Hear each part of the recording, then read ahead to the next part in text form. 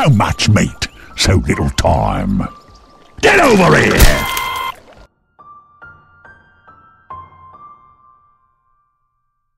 That's some decent damage with the mech charge. There's heal back up again. Homing missile already starts making its way over to Koro. Now everyone's back alive again. The Shark from Dendi, too low on life. He's about to go down and with less Bloodstone charges. Hook shot away. But then in the middle of the fight, Pavos is in there. The Flag is still doing some decent damage, getting rid of the Radiant Creep Wave. But Dendi, if feeble or not, they pop the regeneration ring. Timber chains out. Look for the Shark. Slowing up on Mania. Gets the OD as well. Already the OD ulti. Combining up with the tree and as well. Miguel throws the cogs down. We've got movement from Dendi away from the gyrocopter. Miguel being hunted by a horse. The living armor which was stolen. In fact, Cogs now stolen by Koro. Now wants to push somebody back. Hook shot out. Dendi. Chakra slows down again the gyro. BKB has to be but the there instantly follows after. Dendi. He's looking to chase down other heroes. It's Miguel who's chasing down Funn1k and Dendi whirling down. There's going to be Miguel with the double kill. OD chase down as well. Triple kill for Miguel. Moving freely around. Soshka still not looking too healthy. Puppey's waiting for him. It's there. Riptide beats the fucking man. Help Puppey in position. Buyback by Proper. Buyback by the Weaver. Kuro. Now being soloed up here by Fader as well. Lucky Man's got the Weaver bugs in the back of him for Fader. No side the bites. Seven seconds on cooldown. Removing armor. Keeping man alive. Now the time limps out. Prophet Armor was not to finish the job of the force. Back up towards the high ground. Shukuchi damage will be enough. Now the Hex. Funn1k. he could help out his teammate because he's one kill away. One hit away from death. He, he came out of it. He came out of the Shadow Blade to attack. It's a triple kill for Vader.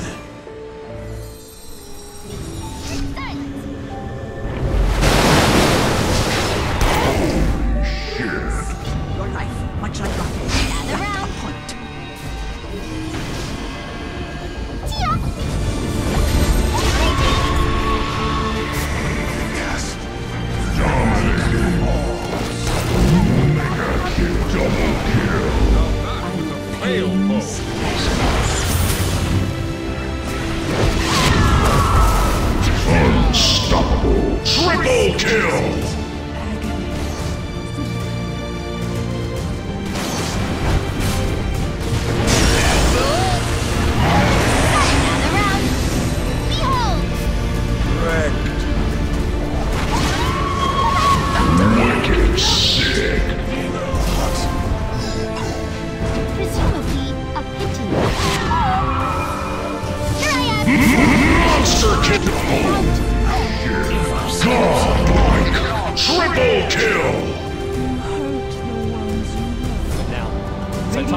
75 mana.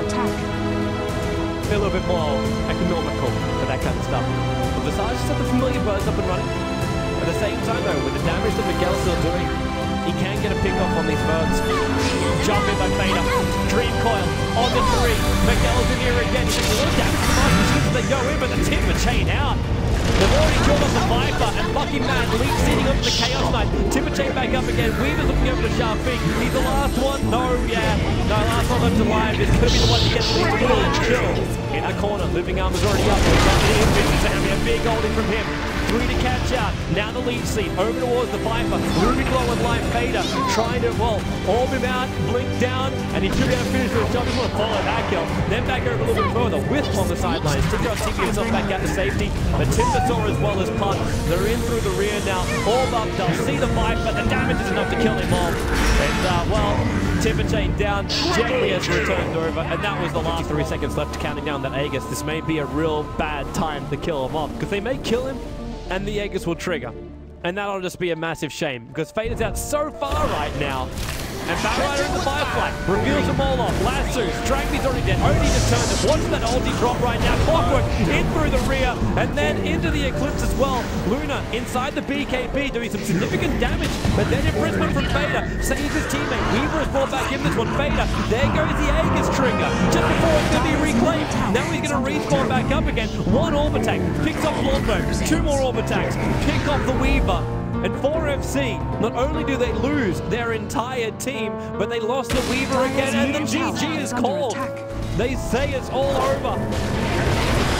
Dire's top tower is under attack. Mega kill. How could it be any other way? Radiant's bottom tower is under attack. Stay near. Hurl your sword. Great. The rest of the AC on it. Still not enough money on the clockwork to buy out the full AC. But this could be the last defense for Navi. If they can't hold this, their game is GG. Poppy! Oh, man! Oh! Things that make you go pop.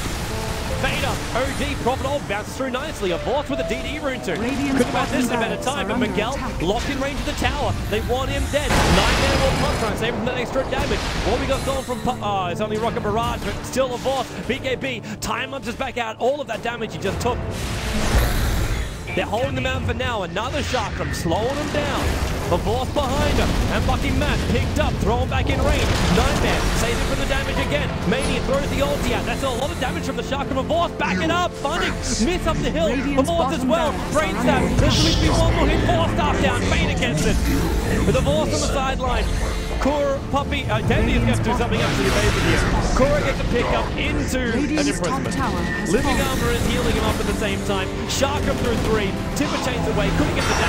Nightmare just bouncing around. Puppey is finally still in this fight. And bringing in a couple of hit supports. He's locked inside the cogs. there, at least will hold Fade in there. But they're down and out of players. Maybe not.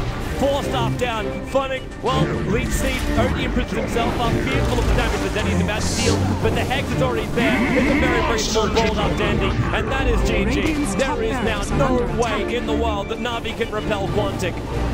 Quantic will take the game out against Navi. And they start.